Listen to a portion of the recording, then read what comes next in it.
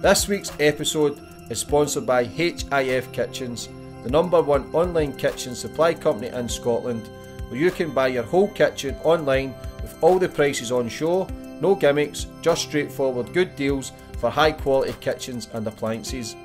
You can buy your kitchen from the comfort of your own home instead of getting pestered by pushy salespeople. Check out HIF Kitchens, the number one online kitchen supplier in Scotland.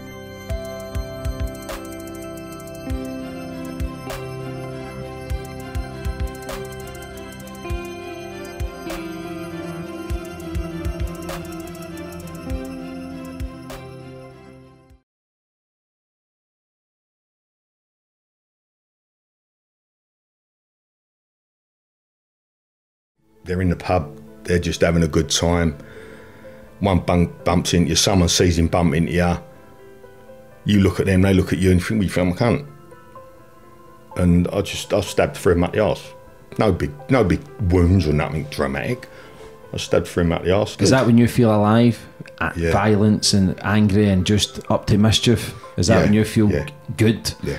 It's a scary fucking place to be in it, Paul. Every morning I wake up with it and I go to bed with it and I talk to myself day in and day out. Nothing's happened in the last seven years apart from that. Were you willing to take the blame and actually do the, sentence and say it was your gun? million miles an hour. So I went and bought big thing of pig's blood from an abattoir. Said to his son, come with me. He don't really know what's going to go on. I said, you just do as whatever I tell you and I'll get there. So we go to the scrubs, six o'clock in the morning, just sitting there waiting. Got some people to film it and live stream it to the, the BBC and all that. And it was just, yeah, it felt right. So I thought, what is it with these people with this fucking word keep calling me a grass? Yeah, and I looked round me and I, there's two geezers with machine guns. And I went, and my wife went, Paul, they've been here because I want to know what they're doing at the end of my bed. And I can barely talk, they had to put a thing over the top to talk. And I remember looking at them and thinking, what the fuck? There's sometimes I want to walk out my door or get out my car somewhere and get one in the head to give me some peace.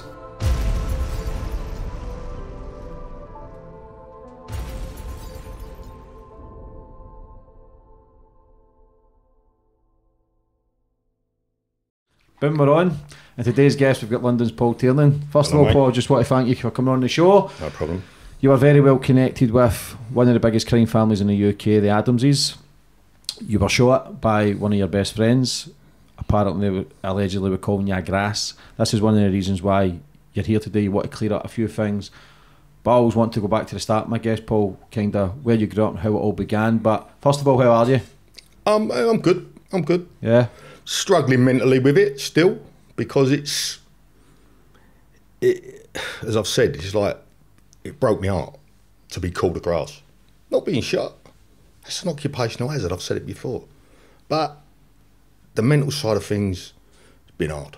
Yeah. Really hard. Was that seven years ago? Seven, yeah, nearly eight years ago. Yeah. And it's still playing in your mind. 24 7. Yeah. Every morning I wake up with it and I go to bed with it and I talk to myself day in and day out. Nothing's happened in the last seven years apart from that. That's why it's so relevant in my mind Yeah. Because it happened yesterday. Repeating it over and over. Over and over and over again. Yeah. So, where did you grow up, Paul? In Islington, Yeah. I was I grew up in the flats that overlook Pentonville Prison. I had a white uh, lived with my mum, dad, two sisters. Um, strange upbringing. Plenty of police involved, plenty of violence. Not on us, but it was a it was um was a mad ass, mad ass. From such a young age, a lot of violence. Yeah, from from five or six. Started early, early, early days. My life used to be. This is the good side of it. I'd sit on the windowsill with my legs out the window, with the window pulled down. I'd look at everyone walking around the yard in the prison because it is that close to the yard. You could look into the prison yard, and I was fascinated, fascinated by prisoners and what's all them yellow stripes on their suits and and in night times I'd go to bed and in them days, the lights used to go out, I think, at nine o'clock in the prison. So I'd look out my window and watch each light go out, each all as the screw was turning the lights off, and as each light went out, you heard you wanker, you slags calling to the screws. Terrified me, Yeah. and I used to get off on the fear.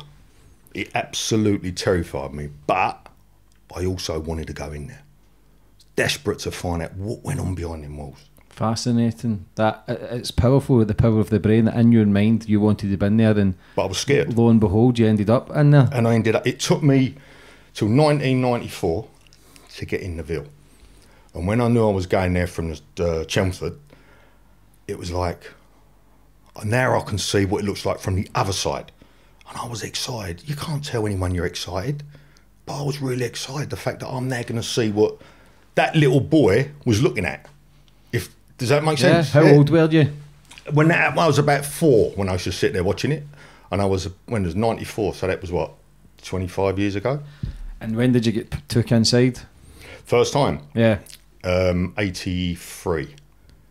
What was it like though when if you were excited to be actually in a prison to be in a prison? Did it change your mindset, or were you thinking No, because I'd already I'd, I'd done bird before that. Borstal? No, I'd done a um, no, I'd never done a borstal.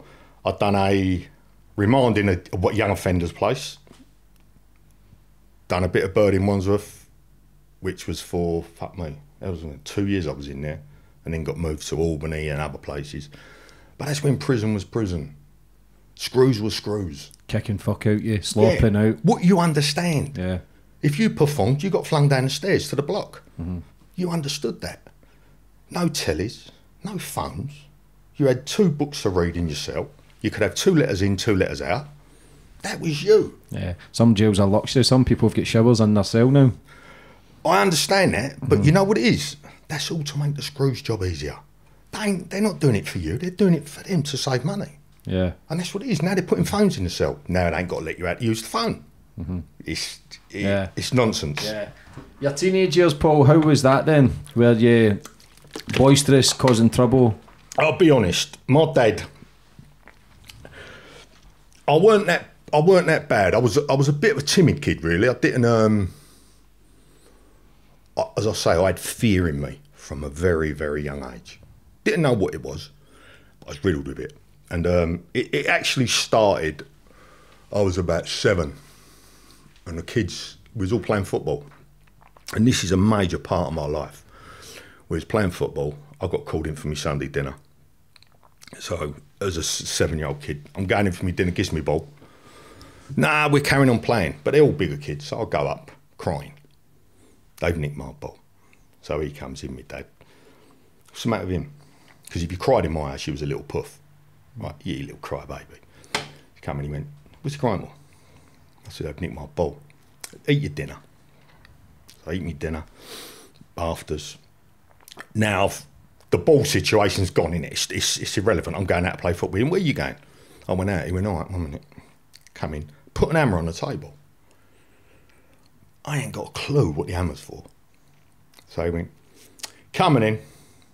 So I went, come on, what? I'm thinking, my dad don't even like football. Get the hammer, go down the stairs, and I'm still oblivious to what I'm meant to do with this hammer. And he went, who took the who took your ball? I said, Tony. It was a geezer named Tony Knapp, who I ended up quite good friends with. Him. And he went, walk up behind him, hit him straight across the head with the hammer. Now, you've got to put that into into a kid's head. What age? But I think I was seven, but I may have been a bit younger than that. Shit. And it was the, f- it was like hit him with an hammer. And I walked up behind him and I was, please run away. I was absolutely, I was petrified. And as I got towards him, I know I've got to do it because if I don't, my man's going to go up his head. Hit you with the hammer. Maybe not, but he would have had a go, mate. So I walk up behind this, and this young kid shouted out, Tony's got an hammer. And this Tony in that run, he was about three, four years old, maybe four five years older than me. And he run. And then there's all commotion in the flats. My dad said to me, Why didn't you hit him with the hammer? I can remember this sentence, it, exactly it went. I went, I didn't want to hurt him. He went, You fucking puff, you got to start hurting people. Hurt them, they'll hurt you. So that was the mindset that was put in my head. Was your dad a gangster? No, he was a thief. He was a thief. He was a worker. Always supplied. Always never went without nothing. Food wise, good provider. But he didn't have a, a mum and dad to really look after him, and he was brought up on his own. So he didn't know all these. Yeah. He, he ain't got them Yeah, skills. he's only teaching you from what he knows. What he knows. Yeah. So that was ingrained in you just to be ruthless then for such a young people. age. It's the only way you get in, like, get on in life is mm. hurt people, and he just, and I, it was an odd. It didn't make sense because my dad would go to work, and then my mum would get you all dressed up in your best clothes, and someone would come around and do photograph shoot with me two sisters all sitting there all dressed up, and it was like, hang on, she wants me to be a prince, Yeah. he wants me to be a, a bully or a fag or a violent man. So I never ever felt where I belonged. My whole life has been that way. And as I say, as soon as I got a chance to get out of my mum and dad's house, any time, go to my aunt's in um, Romford, Romford, Borehamwood, I'd escape to there because it was my safe place. And it was, I just didn't want to be at home. I'd live at my nan's, my uncle's. I was closer to my uncle than my own dad. And he knew that. Was it fear you had for your dad? It was, yeah, Bit of resentment that because it, you weren't getting Yeah, the, yeah. the loving, the, cud- the cuddles, yeah, yeah, yeah, the didn't get what I attention. Yeah. And most kids didn't get that. Yeah. But with me, it was um because my sisters come along. It was like they was getting it all. Well, that's how it works. But I just couldn't seem to grasp that. And as I say, because I didn't hit a geezer with an hammer, I'm a puff. If I cry, I'm a little crybaby. He just knocked the life out of me without laying an hand on me, and never ever give me a G Mental abuse. without even knowing it, without even knowing it. And I'll, and I'll jump forward now. I come in one day, and I just had a little bit of a, a, a thing. Someone had got had got shot, and I come in and I had blood all over me, and I was my hand was bleeding, and my wife was in the middle of stitching my hand up. And uh, he happened to turn up at the door, and he opened the door. He come in, he went, what's going on? So I went, oh, I've just whatever done so and so. He went, what's the fucking matter with you? Can't you grow up? And I looked at him and I thought, but this is what you wanted. Yeah. So this is what you want. Now I'm doing it. That ain't good enough. And it just sort of put a line under it as much as say, whatever I do is never going to be good enough. Yeah, yeah, yeah. So that's how you feel. He created the violent kid, but yet when you you got there, he wasn't happy. But that was just his demons. Doesn't matter if you'd won the lottery or been a football player, he would have still found flaws. And that's all he put me down. yeah, and put you down, and that that affects you even to this day. Yeah. Because we spoke coming up in the lift there, and the like the PAT, PSD, the the mental health, that going through your whole life that you're not good enough. So your whole life you would have felt as if you had something to prove all the All fucking time. The time. yeah. All the time. So your teenage years, how violent were you then? Not really. We used to, we used to go out. There was I used to mainly be with my pals who I grew up from school, but I was always that odd one out. Always had to go that little bit, little bit further. And even then, I, I didn't feel. They was listen. They was the best friends I've ever had. My schoolmates, like who I grew up with in the flats. They was they was me friends. They didn't need nothing. They didn't want nothing. There was no angle. There was no hidden agenda. We were just pals. But even that always felt odd. And I've spoke to a few of them since, and they went because my dad died about two, three months ago now. Sorry to hear that. Yeah, he died of that COVID thing. So You're joking? Yeah, yeah. Within six days. And um, It's still your dad at the end of the day. it's still my dad. And I, and I didn't have a, a good um, relationship with my dad. There was always a barrier there. There was always this this odd. It, was something that we never discussed, yeah. and I just could never. And we had a, a bit of a rift going on over other things and about. Do you ever regret not having that conversation? Yeah, yeah. I did have it to him nearer the end. I started to sort of soften myself because a few friends said to me, "Paul, you got to because you'll torture yourself if something happened to him." Yeah. And I did make amends, and I did say to him, and it weren't him. It was it was me. Mm-hmm. I was the one who took it all the wrong way. You can't you can blame him, but I'm a man. I should have been able to get. I'm nearly sixty. I'm still living with these feelings of an insecure kid. Mm-hmm. That's that's really messed up. Yeah, that shit eats away at your soul, man. It's eating me alive. And then, yeah, it was so. The, the, as a child, it weren't that violent growing up in the years. And then I met Wayne. I was working on the Evening Standard. Complete, just fun, delivering papers, good fun. That was when I was about 17. Met up with Wayne.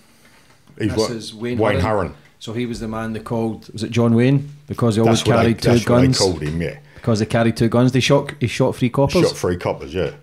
Is it over 150 years as well? He got. He was a man who had no fear. And at what age did you meet him? I was about 17, he would have been about 18. Shit. And um, that's when I first started carrying a knife. I went out with Wayne, we went out for a drink, went to the Sundown in Tottenham Court Road. And it was like, I see it come out and I thought, I didn't mind fighting, but I weren't the best fighter. I, I, I'll say it now, I can't fight, but I will never fucking run from no one. And I thought, well, that looks easier. So then I started taking the knife out. And it became the norm, going out, having a drink. Women didn't come into it. We weren't interested in women. If they did, they did. But a fight was more important mm-hmm. because that was my only way of getting recognition. Yeah. And that's, that is how it was. So how was he then in his teenage years? Because he had the reputation of public enemy number one. Wayne was a f- fearsome, fearsome person. He could have a fight. I've seen him fight Dorman and knock, when he was like 17, 18, knocked three, four Dorman out. Mm-hmm. And just a fearless, fearless man. Yeah. And we had a, we had a, a, a, a close relationship. And really, when I look at Wayne now, God rest his soul, he was he's a big part of my life. Because if I look at it, it was only meeting up with Wayne I started getting involved in serious sort of crime, carrying weapons. I met my wife because he was his wife's sister. My kids. Every, he had a major part in my life, mm. almost as much as what Pat did. But his part in my life was good. Good memories. Yeah. Family, basically. Yeah, he was. He Yeah. was. Um, yeah, he was. He was. Uh, and he said it to me just before. Just before he died. He, I was on a visit, and he went, "You know your biggest problem." I went, "What's that?" He went, "You always thought you had to prove something." Yeah. I didn't know he knew.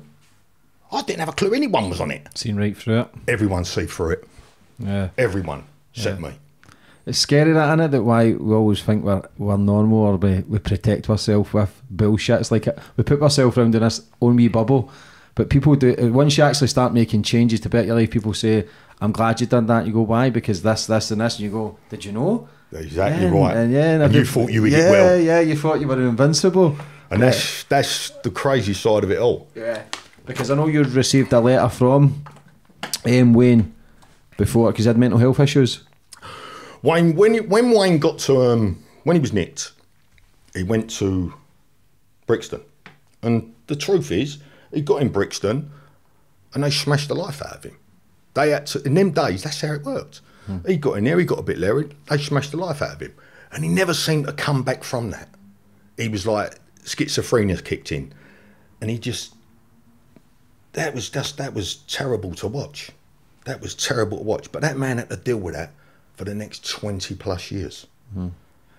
And it was and it was and I actually feel so guilty that I didn't give him more of my time. Yeah, you can't blame yourself though. You can because you you could have. It was, uh, but if I'm honest, it was. He was unpredictable. Mm-hmm. He was so unpredictable. I've gone round his house, knocked on the door, and he's gone, Paul, fuck off. I went, what's that? He went, please go, because I know if I don't, he knows he's going to do me with something. He can't stop it, and that's what he'd have done. And I just went, oh, I'll talk to you later. Yeah, you know he was a danger to himself and other He people knew it. around him. He knew it. Because he admitted three, four murders, and is that when he get put into the psychiatric ward? No, he was already in the psychiatric Or place. was he? When he when he's confessed to them. Mm-hmm. So they've gone and interviewed him while he's mentally unwell and listened to everything he said and believed it. And it's Was it the truth? nah, Or was it just mate. medication? It was it was boasting and just natty talk. Yeah. Absolute natty talk. You if you've if you've ordered these things on a phone in a prison, then there's evidence that it's happened, right? It weren't how it was said. It was absolute, probably fucking blown out of proportion. Yeah. How can they accept that though if your medication and, and do you know what I mean? That's why the judge flung it out. The judge said to the jury, "This man, these evidence, these statements are inadmissible." Mm-hmm. Because they could be drugging someone up and asking them questions then without even their consent. Listen, I'll give you another for example, right?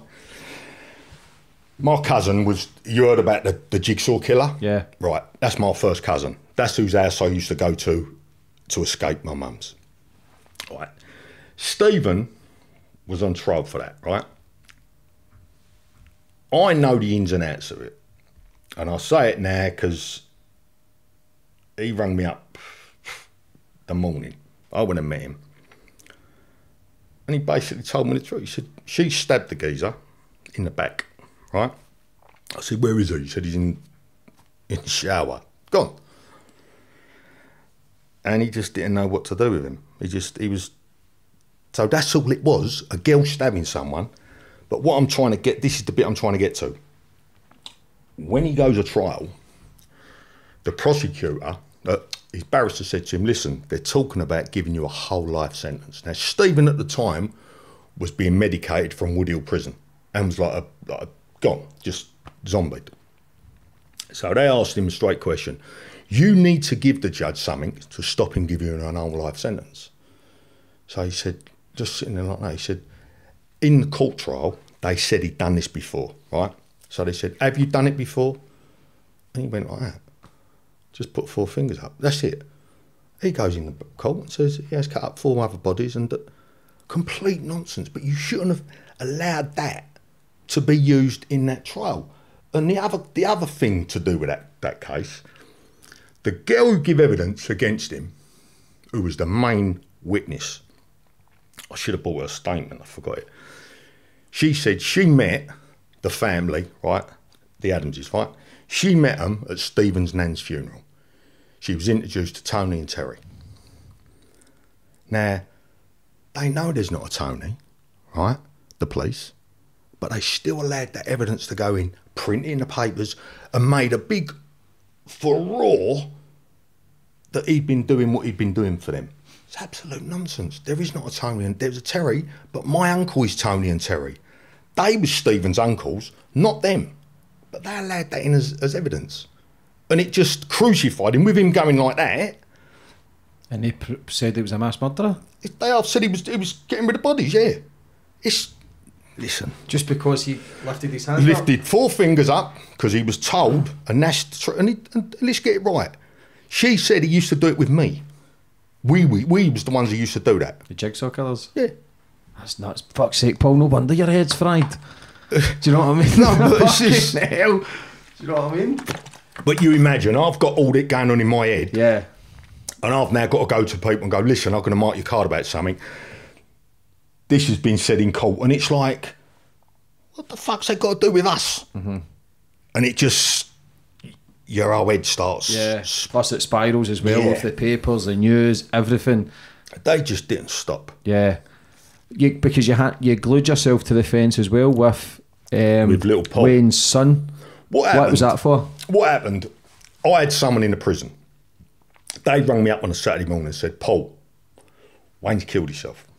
I said, What do you mean he's killed himself? But we've heard Wayne's died three or four times in the past. It's never been true, obviously. And they said, Wayne's like took his own life. So, okay, we find out, we do a bit of backtracking. The girlfriend phones the prison, the prison gets in touch with them, so blah, blah, blah. So this, it's an ongoing thing. I'll get the next phone call is to tell me blatantly, Paul, Wayne asked to see a listener. You know what a listener is, yeah? Yeah. Wayne's asked to see the listener. The listener was took out of his cell, gone round to three or four other cells. Just before bang up, the screw said to the listener, "This is this is in this is fact." Said to the listener, "We won't worry about Hurren.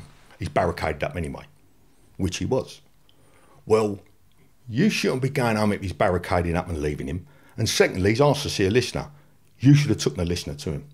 And they didn't. Next morning they come in, Wayne's dead. So when I heard that, to, in my mind, they've murdered him. They've allowed him. Well, he's murdered himself, but this ain't. This ain't fair. This ain't right. He was a sick man. He was an ill man. He should have been treated in an hospital. Tried to get him to move to an hospital. So what I've done? I thought, I can't. I can't deal with this. Don't forget, I haven't done anything for seven years. I've just had my head wrapped up in my own little world. So I went and bought big thing of pig's blood from an abattoir. Said to his son, "Come with me." He don't really know what's going to go on. I said, "You just do as whatever I tell you, and I'll get there." So we go to the scrubs, six o'clock in the morning, just sitting there waiting. Got some people to film it and live stream it to the, the BBC and all that. And it was just, yeah, it felt right. It just, it's, there wasn't a lot else I can do. My hope was the screws was all going to come out, and then I could have had a fight with all the screws and really caused a scene and hurt one or two of them because that's how I felt. And it was just, it worked perfect. And it was just right. I went, right, Paul, run to that gate. There's the Gorilla Glue. Glue yourself to the gate. Make sure you get in a position so they can't open the gate either way. We shut the prison down. And I watched him and he, he just, you didn't even see him. He just sort of walked through the thing and just done it. And then I just done what I'd done with the blood. And then I had time to put myself on the gate. But it was, yeah, we was on there most of the day and it just mm-hmm. felt, it just felt good. I Yeah. felt alive. Like a protest, did you feel like your old self? Yeah, I felt, I, I thought, Even though it's a protest causing mischief and just. it made me feel Yeah. good. It made me think, this is what I've missed. This, this, this little. It weren't nothing serious, but it was an adrenaline rush, and also, it, it gave me strength. I felt the strength come through that prism from him. That's how I felt. Yeah. It was like his spirit was let out of that place, and it it was just, yeah, it was good. Is that when you feel alive? Yeah. Violence and angry and just up to mischief? Is that Yeah, when you feel yeah. good? Yeah. It's a scary fucking place to be in it, Paul. It's, it's, it is. It ain't a nice place, Yeah. but it's a normal place. It's all you know. it's in your comfort zone. Mm-hmm. When I'm sitting indoors doing nothing, because I, I don't really I see an handful of people. I don't want these people in my life no more. They're not. They're not proper friends. They talk about loyalty and all this shit. They're only as loyal as they got to be. With me, I, I'm I'm loyal way beyond I should ever be with anyone. I'm like with all my friends. If you're my friend, Yeah. I'll die for you. All I can ever offer a friend is, and I've always said it to people, my loyalty, my liberty, and my life. There's nothing else I can give you. If that ain't enough, then you best jog on. Because what else can you want? Is that why you've been so broken over the last seven years? Because you're loyal to everyone, what you Yeah. are capable of doing for others, willing to die, willing to go to prison Go for life. So, how did it come about then that you and Patrick became friends, who was Terry's brother, one of the biggest crime families in the UK? So, how did you and Patrick become friends? I met friends? him in Wandsworth. I, I, I, I'll be straight. I was in Wandsworth. I was in on E Wing, and I was shouting out the window at someone in the block. I was arguing, and I heard a voice go, "Is that Paul Tiernan?" And I went, "Yeah, who's that?" It means Pat Adams. And you know the first thought coming to my head, "Fucking hell, he knows who I am." What the fuck's that about? I was, I was privileged. I know her. Yeah, he, he knows who I am. How can he know I am? I went, yeah. Anyway, long story short, he got there two days before. Screw came in to drag him out of bed and he attacked the screw and he got put in the block. And the first involvement with him was a geezer was slagging him off or slagging his family off out the windows, a black geezer. And he went, Paul, do us a favour. I went, yeah, of course. And I nearly come unstuck with the geezer because he was a right lump and it took two of us to have him over at the end of it. But that's how I got to got to know Pat. And that's how your relationship grew. Hmm. How long was that for? How long were you friends for? Thirty. Well, that was in '84, so I worked that out. Thirty odd years, thirty-five years, Yeah, which is a long time. thirty-five Yeah. years. What was that sentence for? You were in prison for? That was for stabbings. I was nicked for three stabbings in um in a pub in Islington, which was yeah again. They're in the pub. They're just having a good time. One bump, bumps into you. Someone sees him bump into you. You look at them. They look at you, and think we found a cunt. And I just I stabbed through him at the arse. No big no big wounds or nothing dramatic. I stabbed through him at the arse, and I got nicked about. Fuck me A month later, going into Enfield Police Station to sign them for a bail case, and they took me to King's Cross. One out? Yeah, but the funny thing is, we're driving down the um, green lanes. I'm in the back of the car.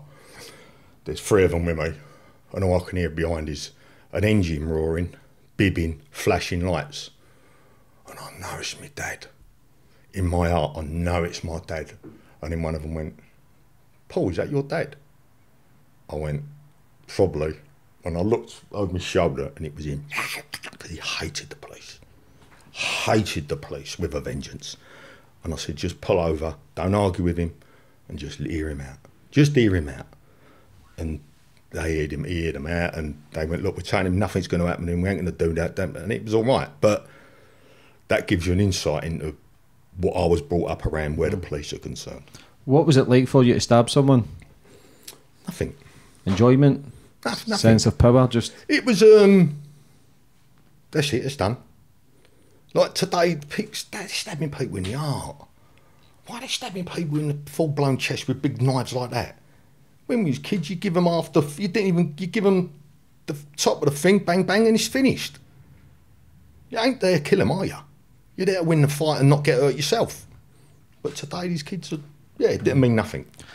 in 2007 as well. You get jail for guns and No, drugs. what happened- was the story with that? Now, what happened? I was, I'd met someone the day before, no, on the day.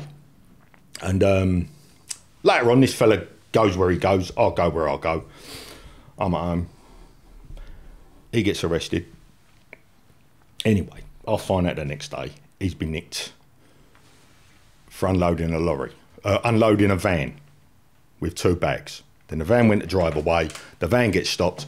They find 17 kilo of heroin in the van. In the bags was 23 handguns, silencers, bullets, blah blah blah. So the fella gets nicked. Later on that night, the kid's dad gets nicked, who I met. He goes to trial. I'll get. Let me stop. I go to a prison visit in called Grendon. You know Grendon? Yeah. I went to visit someone in Grendon Prison, a lifer. I come out, and as I walked out, I just sensed it. And as the gate opened, I looked, and there was just 15 of them. Soccer, old Bill standing there. I went, oh, Paul, you've been arrested for so and so, so and so, so and so. Obviously, I know what they're talking about because obviously I know that this fella's been nicked since then. So this is a good six months afterwards. I go up, bow hearing after bow hearing, not bow hearing, um, produce myself at the police station. Done me first, when I'd done the interview, no comment, no comment, no comment. That was it. No further action. Job finished. He goes up and gets not guilty. So that's how strong the evidence was on the man. Well, it was obviously a lot lighter on me, wasn't it? So that was it, end of subject. And then out the blue, Emily, and don't forget, this is the thing I'll. Uh, I've been nicked twice on my own. Once with a gun in a car, and once coming out of a prison. Now, I'm nicked on my own. No one knows I'm nicked. So I have got carte blanche to be a rat. Because no one knows. It's not like I'm with someone and I've written a statement against them. I the next morning when I come out of the police station, I go straight round to everyone and go, listen, because I'm ashamed that I've got the word heroin written on my charge sheet. Not my charge sheet, my bail sheet. It's that's a no no. Where I come from, that you cannot entertain that shit. And it's a it's an unwritten rule that everyone's stuck by. That's why you didn't have no smack dealers in Islington. They got jogged on. They would be terrified to sell that shit. So for me to be nicked for it was really shameful for me, even though I didn't know. Shameful. So, yeah, no further action. Yeah. What was your longest sentence, Paul? Four years Four years. What was that for? for the stabbings. Yeah. Is that what you got for the freeze hmm. up the ass? So, your best friend, we'll get to this topic now, Colin Yagras, and he got nine years for shooting you. Right. What's the full story with this? Right. The bottom line is, he he he switched on me. I had to talk to him just before we fell out. Last conversation I've had, and I know I know what it was about because Pat had been out of crime or any involvement in anything for the best part of 30 years. That ain't no lie. The, I come out of prison in 2000 and he was a different person. He was chilled. He was relaxed. He was he weren't mixing with anyone who was at it. So when he would be in England, I wouldn't do nothing because I do not want to draw him into a conspiracy. Down to me. It ain't going to ever be down to me. You ever get nicked, it won't be down to me. Association. Yeah. So I would make sure when he was here, I didn't do nothing. I'd never see no one. When he went home, then maybe I'd duck and dive. But where was we going with that? Just about how you met and how it all began and how Oh yeah. feud began. So he says to me, Paul, he went, look, someone's doing something around me. Someone's doing up to no good. Uh, and I can feel it around me with the old bill and all that. So I said, well, let me assure you one thing. It ain't me. And he looked at me and went, it's not me. Well, if it ain't me, there's only one other person close to you, right? So he should have answered the question himself. I weren't about to tell him. And that's that's just me. I can't I can't tell tales. My dad brought me up not to tell tales on people. And it's like even this sitting here now, I don't feel right. I feel I'm out of my comfort zone because I'm thinking to myself, hang on a minute, Paul, you're fucking talking on a on a Yeah. on a on a I'm thing. sure, yeah, yeah, yeah. And it's uh yeah. So anyway, the, the the argument it was left. He won't see me. He won't come and thing clear the air. Nothing. He's he's avoiding me. But he's avoiding me because I think he knows he was wrong. And then as time went on, it got worse. Then I get called a smack dealer. Now he's dragging up something from where was that? Ten years before. Ah, I was a smack dealer. I've never, I've never touched smack in my life. That, what are you talking bollocks for? You know that's not me. He knows it's not me, but now he's set his stall out, isn't he? And then the next thing is, I get told he's calling me a police informer. He grasped some people up on a smack deal. What, what are you talking about, you prick? Because that's exactly how I thought. What are you talking about? You're acting like a fucking idiot. Because the people that I'm nicked with was found not guilty and have stood in my corner and gone, what are you talking about? Fuck I do with him? You're mugging yourself off. But because of people around here pay lip service, you're getting away with it. Yeah. So did that pu- fuel to the fire then? Yeah. That fueled it up. So my first move was, right, you won't face me, you won't hear me out. Right. So I'll get in touch with Pat Slizzer. So I want to organise a lie detector test. You know that I'm not 100%. I said, listen, I've got no other angle to go at. Get me a lie detector test done. Sorts out a lie detector, go and do it. Bum, bum, bum, bum, bum. Didn't even, didn't even, I just went, I know what the answers are going to be. Come back. All, every one of them, no, no, no, no, no. So I go down, I put it in a few places, put it in spills, couple of doors, different people got it, everyone got it. Then his son starts mouthing off, yeah, but he might have been on special pills that stops it working and and I thought, what have I got to do here? And Pete went, Paul, you ain't got to do that. Why are you why are you putting yourself through this? Yeah, why not just walk away? I can't because, as I just said, to you, I've got nothing in this world. My name is is is all I've got, and I'm not going to allow you or anyone else to grass me off. You ain't doing it. It's, I've always swore, and I and I, I've said this to his son. I've always swore anyone ever called me a grass, I'm going to kill him. I said, but the difference is, I love your dad, and I still can't even consider that because I did. You think it was the fact because it came from him, it was more heartbreaking for you? It was like my dad calling me it. Yeah. It was that painful that I, I've I've give the man. I'd put him before my wife and kids. My daughter said to me, Dad, you think more of his fucking son than you do of us. And I, this is when I come out of hospital, and I went, I did. I'm sorry, I did. But that's the life I was in. It was, I would, I would feel if something happened to his boy and I weren't now, I would be responsible in my head. No, still. Listen, let me just say this. People are going to go, you've got to be off your fucking head, but I don't care. If there's one person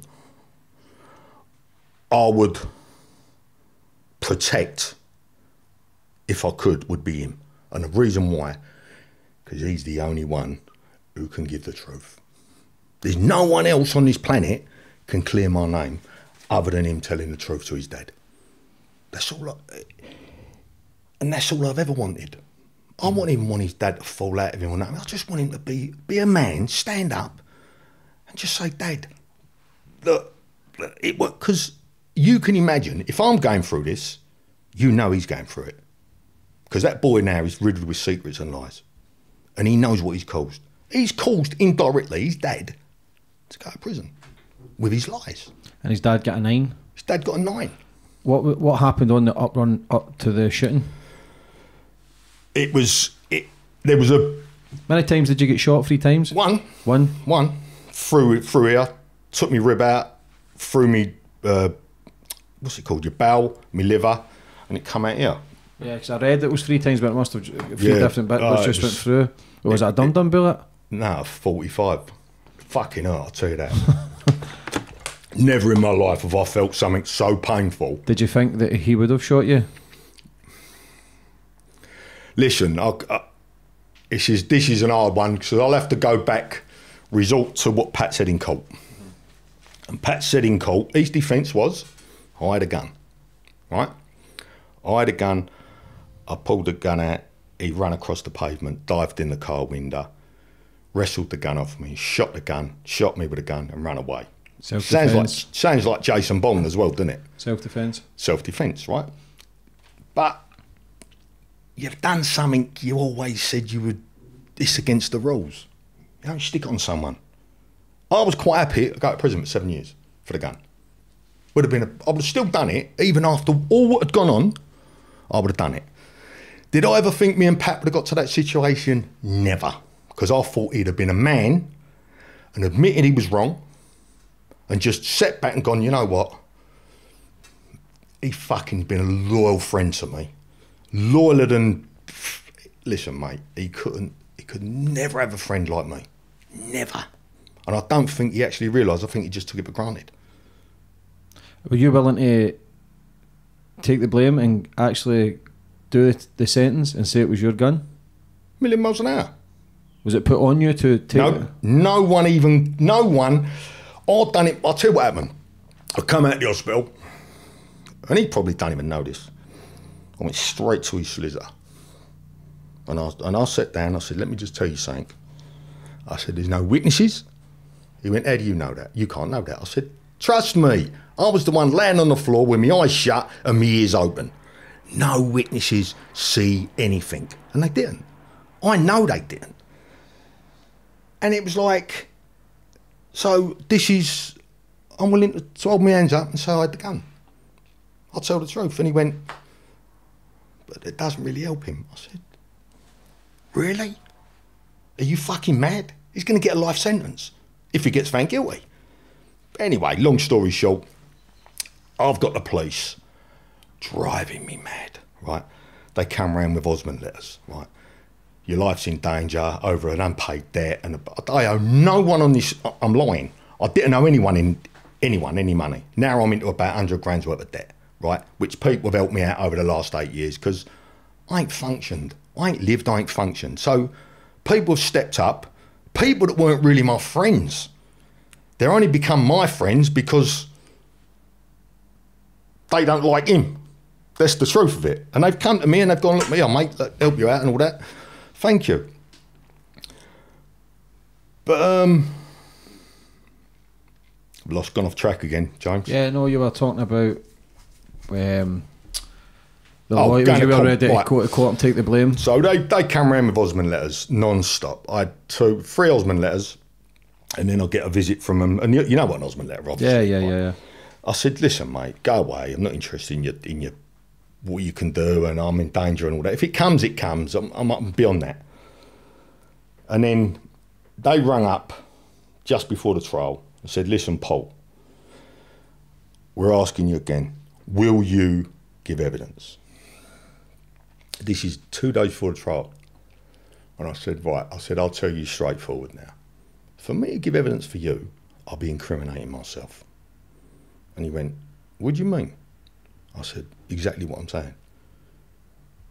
He went, so what you're saying is, I said, what I'm saying is what I've just said. I said, end of subject.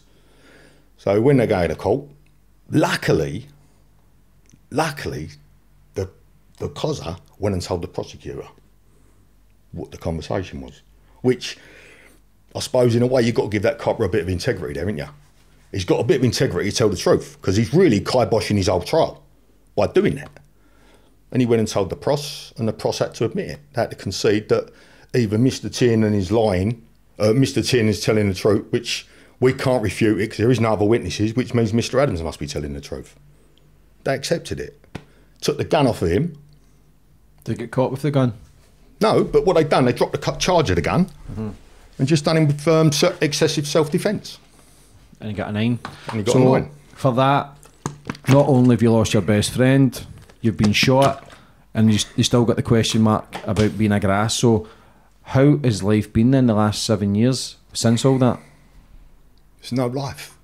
It's, it, I'll probably get slagged up for saying this, what I'm going to say now, but in hindsight, if I'd have known how this next seven years was going to pan out for me, and probably the next forever, I don't know, I hope not, but maybe it will. Maybe this will give me some peace. I would have rather died on that payment. I would have rather died on that payment. My wife and kids would have grieved for a year, two years, got on with their lives without me causing just upsetting everyone. You imagine, I'm, I'm having this conversation every opportunity. If I don't have it with someone, I'll have it with myself walking around the fields every day. So, yeah, I would have rather died on that payment. Him and his old woman went to prison for 30 years, which I could have done nothing to stop. Everyone's happy. Everyone was fucking happy. What was it like being shot? It's like someone putting a hot poker, just slowly pushing it through you. And it was like, whoa. But I know what I'd done. I can remember it. Boom. I put it into park because I was in drive. I was just turning out. I put it in park so I knew it was going to run into people. Got out, tried to run, but I couldn't. So I dropped on one knee. And I looked across the road and he was staring at me like that. I think it was like, he, the look was, oh, fucking hell, what has happened here? This shouldn't have happened. And I just said to him, you're a wanker. That's the only thing I could think of saying. I said, you wanker. How's life been then? If you anybody ever came to you? Is your life in danger now? There- Nah, listen. Some of the things I come out of people go, how can you think that? But I'm, I'm being straight. There's sometimes I want to walk out my door or get out my car somewhere and get one in the head to give me some peace. My head is. It's like this fucking sack full of parrots and monkeys jumping around in my head all the time. I can't take it. It's it's wearing me down. you seen anyone about that? I did, but it, it, it becomes to the point of you start to feel that you you got to give them it. You got to tell them the truth. You've got to open up, man. Yeah. You've got to surrender. But your dad will still be in your mind Of course he is. man up, man up. But you need to And- and surrender don't- to the pain. It was like even even I fell out with my dad when they what happened with them when this text I sent a text.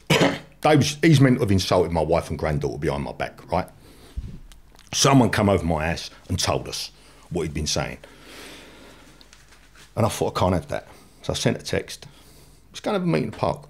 If you read on the on the on the transcript, it says it in it. Meet you over the park near your. Long story short, text comes back. You're a grass. Your dad sells child pornography. So I thought, what is it with these people with this fucking word keep calling me a grass? So after the shooting goes on and I'm out of hospital for about six months, maybe a bit longer, I sit down with my dad and I said, right, I want to know when you got nicked all them years ago, what was you nicked with? And he went, what do you mean? I got my sister around her and all to hear it. And he said, right, there was 50 books in the shop. This is 40 years ago. Weren't my dad's shop. It's a guy's name, Mickey Tepper's shop. He was running the shop. The books got delivered. Amongst the books, there was two child pornography books, which can range from the ages of 15, whatever, I don't know. I weren't there, so I don't know. And he said, I got nicked for the two child pornography books. I got 12 months. So I went, Dad, you, you're shaming us. What are you doing? And he went, Paul, what do you expect me to do? What do I do? I either take the nicking or I grass Mickey. Either way, I can't win. He said, but I'd rather go to prison than be a grass. And you know what? I had to, so I had to take me out of him for, because I know most people out there wouldn't have done that. But he hated the police. And it was, he couldn't surrender to the old bill. But that got flung in my face. That made me a bad man. That's the sort of, that's the strength of the abuse. And that come mainly from his wife. That weren't really Pat's talking, that was his wife. When's Pat out? His own. Is he home? Been home six months. Would you try and make amends Oh. now, or is it done? Listen, it's never going to be done with me for the simple reason listen, I forgive him completely. Completely forgive him for what happened because I challenged him. I called him on. I kept on and on looking for him and bump because I wanted to I wanted to clear the air. But there was this one bit no one was going to allow me to get next to Pat. The mum or the son. The son can't allow me because he knows the truth's going to come out. And the wife can't allow her son to be able to go out. So let's throw Paul under the bus. That's what happened. Did you never think about writing him a letter or anything? I wrote him a letter. No reply. I wrote him a letter in prison. Pat, I never dreamed me and you would have ended up like this. Never you being in prison for nine years and me actually being the cause of it. That's how, that's how bad the, the narcissistic side turned me that even I thought it was my fault. How the fuck's it my fault? But I took that, I took it to blame. That's why I was willing to go and do a fucking seven for a gun. I would willingly. So you never stuck him in or anything for that day or anything, never went to court? No, no. And you're willing to take the blame? Of course I would. It's crazy, man. So, where do you go from here, Paul? What's the where do you go? You still try to get some closure on this to move on, or you try to quiet down your demons? the demons are there forever because my wife don't understand. None of my friends who I see now understand. And I've been given some good, solid advice, right, from people. Paul, you ain't, he's the one who's lost out. He's lost a fucking friend he'd never find. He's only ever had two friends in his life, and both of them have been called grasses. No evidence, no facts, just because that's what I want to call you. Well, I still can't Look, if I tell you someone's been to my house and told me you've been insulting my wife and granddaughter, what are you going to do? Yeah, you're going You're gonna wanna know who told yeah, you. Yeah, yeah. I never said that, right? So this man's a liar, but this man is also a stirrer who's come and told me. So I, I don't get the. This is all about one thing: keeping him away from the truth. That's all this is about. Keeping him away from the truth. Did you ever have addiction issues, Paul? Me? Yeah. Yeah, yeah, yeah, yeah. On what? Uh, started with cannabis, blues, speed, coke, crack. Um, full blown, full blown. Ironed out every dollar I had. When was this? 2000 and, 2002, I suppose I started. I've doing it since I was 14. But the crack, that's when the problem started. That's when it got too much for me. How long were you on that for? Four years, five years. Every day, a quarter a day. Every day. A quarter a day, man. That's four years. You're talking millions. Oh, don't. That's why all my kids are living with me because they've got nowhere else to live. I, I just, I, I don't want all my money. All my money. And what money I did have. Uh, look, this is, this is, this is what eats me, right? I get called a smackhead, a, a smack dealer, a thief, because I also rob people, a grass. My wife and granddaughter get insulted behind my back. And on top of it, I'm, I'm in a fucking hospital in a coma. And the first thing he thinks of doing is we take his money and all. That's fucking, that's shabby. Mm-hmm. Not on anyone's word, on a lie he's been told. Another lie. Another lie. Even, it, it's, none of it matters. None of it fucking matters. I would, I would give anything for a half hour conversation with him. Just to go, right, bang, bang, bang, bang, bang. There's your answers. Yes, I'm wrong for not telling you. I couldn't have told tales. I couldn't have. Do you not think though, man, it's time to maybe just walk away and just try and live your life Of course it is. and put some closure on it yourself? But everyone I talk to, uh, whoever they are, Because look what you've already lost. Look what I've lost has already everything. happened. Do you know what I mean? So your loyalty and it's scary to think that you're still trying to be loyal and still trying to get some closure because that's like you say, all you've got is your word. And but look where it's got you. listen, it has got me there. Mm-hmm. Because if I'd have been a man, a prop, if I'd have been a friend on the, listen, when he's he's not involved in nothing no more, and I am, there's not a lot I can do about that. So I've got to, I've got to eat. I've got to live still. I've done all my money on fucking drugs. He don't know that. It's not. He's not his concern.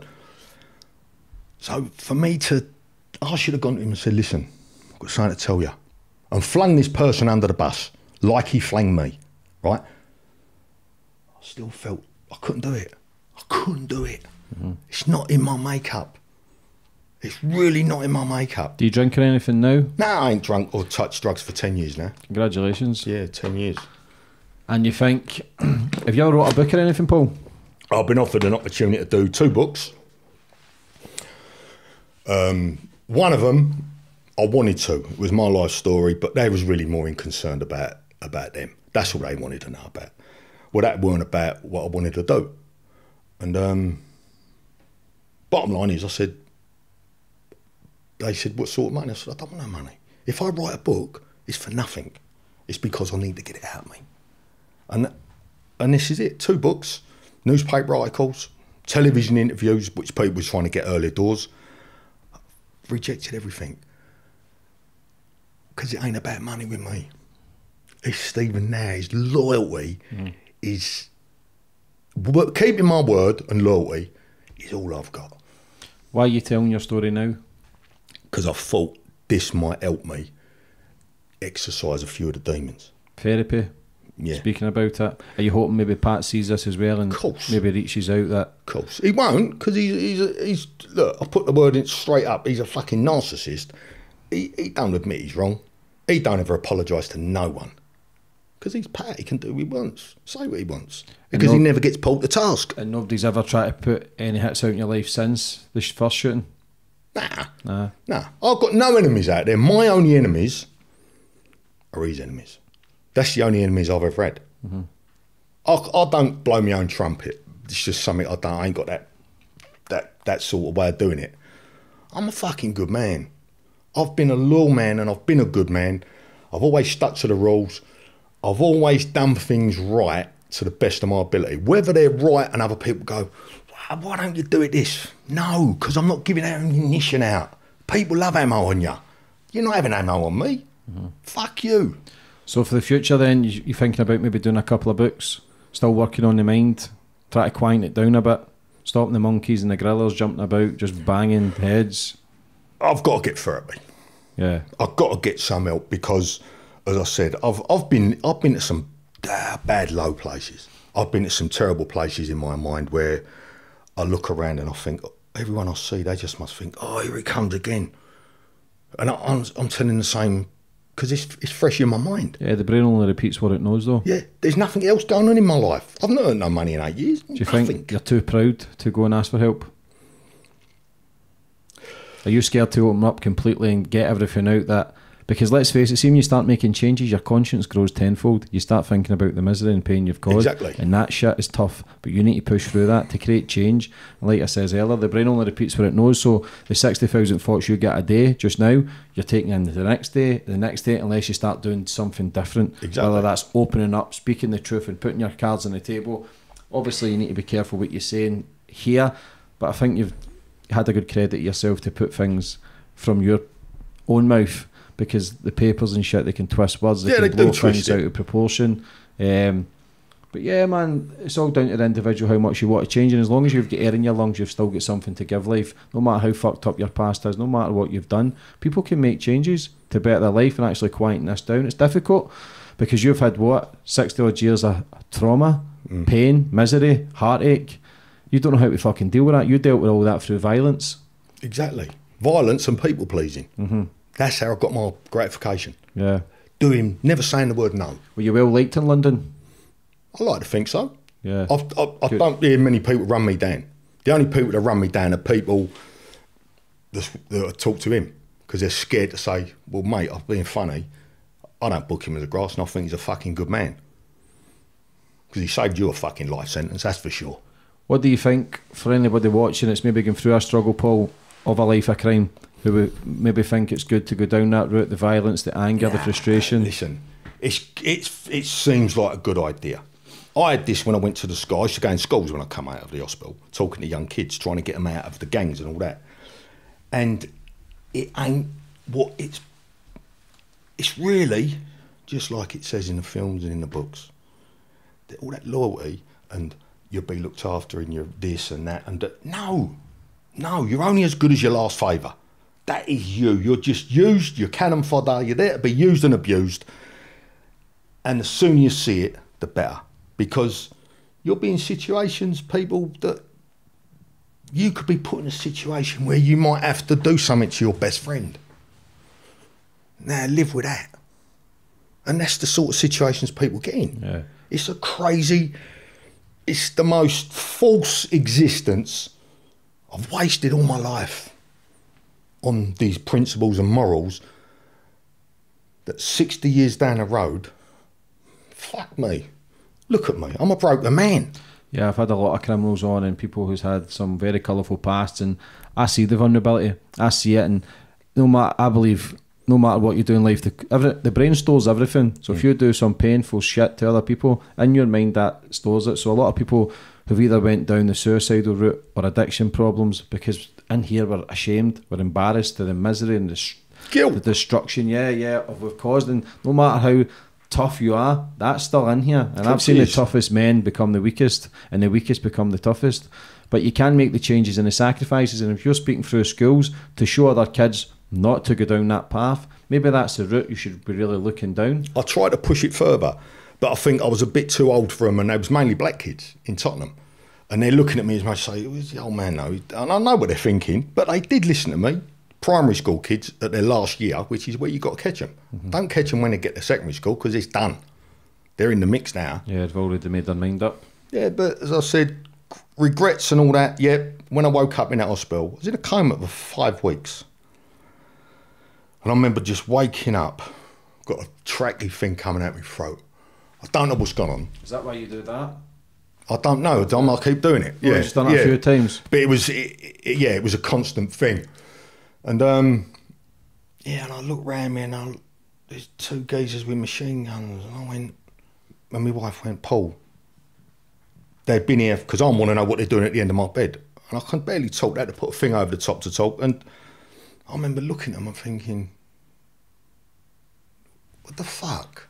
And he went to me, Paul, we're here to help you, right? What can you remember?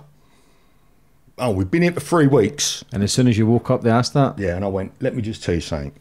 You've been here for three weeks, four weeks. Your job's done. You can go home now. They went, but I said, thanks for looking after my family. They didn't need looking after. I said, but I appreciate it anyway. And they walked out. I had them coming into me and offering me deals, right, to throw him under a bus. I mean, a brand new life. Go here, you can have this, you can have. They come to me and offered me things that are like, really? Are you that desperate? And I'm, I know he's not been involved in crime for 30 years. I know he ain't. That's fact. And they're still that desperate to defending him again, aren't I? Yeah. But that's because of, but, but again, it's um, I'm doing it again. but it's obviously you know where your loyalty's lying. He's uh, maybe he's hurting as well, just as much as yourself. But I again, you don't know. You've got to for people who who weren't in that life and look outside from that name. The na- it's a big name everywhere. So it's difficult, obviously, even for you to speak about it. It'll still bring back a lot of emotions. When you were in hospital after being shot, did you have many visitors? Yeah, a few people. Not you? as well. Anyone who came up there, it was um, that to give their name and all that at first. Yeah. But that was after. And then after I'd come out of coma, my wife wouldn't let no one into me see me. Couple of good friends who was there, and they've been good friends still now. Yeah, that's a good thing. And I'll always, I'll always love them. because you know, what I mean? yourself, if you're in prison or if something, the, the shit hits the fan, nobody's there to be seen. You know that. Nobody is there to be seen, and that's the scary thing, and that's what people need to understand. A life of crime is a life of misery. He It's was telling people, and he- his boy was telling people, no one's allowed to visit him. No one's allowed to visit him. Who makes you the fucking sheriffs? Do you know what I mean? Mm-hmm. But do you feel good? Do you feel safe enough that your life is not in danger or anything? Nine years later, now that he's out, I don't care. I know it, you, you might Yeah. think you can't mean because. I know- I understand. genuinely don't care. For me, Yeah. these days I get out of bed and death will be a release. Death will be. I've said it to my wife. The only time I'll ever be at peace is when I'm dead, because that brain will go bang and it's off. I don't want to, but I can't carry on like this for another ten years. Uh, for me personally, I would seek help. I would speak to someone and get and, and lay your cards out on the table. Someone who, where it's a private conversation, it's trust, and it's a sense of release, a sense of therapy. To you're at that stage now where you, you're at the crossroads, and if you're thinking I would rather be fucking dead just to stop those thoughts, but you're still here, so you're clearly here for a reason. Well, that's that's what I've, I've been for a lot of ill, lot of since this. I've had seven lots of surgery down to the shooting, and it ain't it never stopped for the first three years. But I got myself fit, got myself healthy again, and I mean I got super fit again. And then bang, I get blood clots on the lungs, and now it's took me backwards again. I've put weight on, and I can't train now. Yeah. It's just like a vicious circle. Yeah, it's just a bit of depression and that as well. Yeah. Do you know what I mean? you know yourself, if you're feeling good, it gives you that wee bit of self confidence. Plus, you've got the serotonin, endorphins, dopamine, the stuff that fights depression, anxiety, mm. fear. The exercise is key for our methods of thinking, the madness, the craziness, the, the fucking darkness, the pain. The exercise is key. It Can you the exercise then with blood in the lungs? Has it all been Well, it's drained? they're all clotted, so Yeah. it's it's the excess strain on the heart, isn't it? we were getting tablets. They say aspirin and shit. Warfarin, I want. Blood as well. Blood thinners. Yeah, but you can't exercise then, Not really, because you can't get your heart rate up. You don't. You're not just in to. case it clots. Well, the the pills will stop it clotting anymore. What about meditation? I've had a go at that when I was like in the rehabs and all that. Cause I've done all the rehabs, Mm-hmm. and um, I can't seem to get it right. I can't seem. I was looking up the other day. I thought, what am I going to do?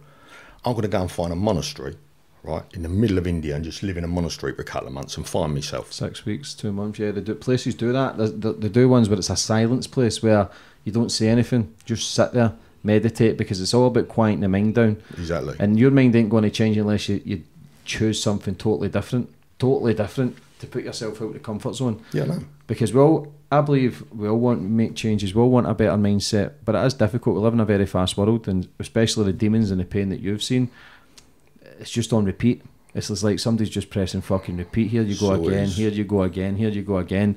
But quieting the mind, meditation, breathing techniques. I jump up mountains, man. I'm jumping. I do cold water exposure in the cold water. I need to push myself to the extremes because if I don't, I slip into depression and I slip into it fast, and then it's overeating, and then I'm scared that I open the door because if I start having a drink or having a line or placing No. one bet, they all fucking come through the door, and once. within two weeks I've fucked everything. So it's very slippery slope, but like I says earlier, you're here for a reason, and hopefully you can get things sorted. Hopefully you can get some closure, maybe make amends. I don't know, but for you to come on today and tell your story, mate, it takes balls as well. To Yeah, I'm, Speak I'm, about I'm, it. I'm glad I've done it. I'm. Um, it's it's got out of me what was eating your life, yeah. Right, obviously some's held back, which is only for his ears. yeah, of course. But he don't want to hear it. He don't want to hear it, does he? Yeah. Would you like to finish up on anything, Paul? No, no. Just the last, the last thing I'd, I'd say, and this is the other side of that life, of that morals and then principles and the loyalty and sticking to the rules and the code. I laid on that floor, and this thing comes back on time. I laid on that floor with my eyes shut, thinking, right, all I could hear was, "What's your name? What's your name?" No, I'm gonna die like a man. I'm not even going to tell him my name. What the fuck was that about? And I ended up getting the passport out of the car and, and going over my wife. And that's all I was thinking about. You make sure you die like a man here. Is that your dad talking? Yeah. It's got to be. Yeah. You don't tell the police nothing.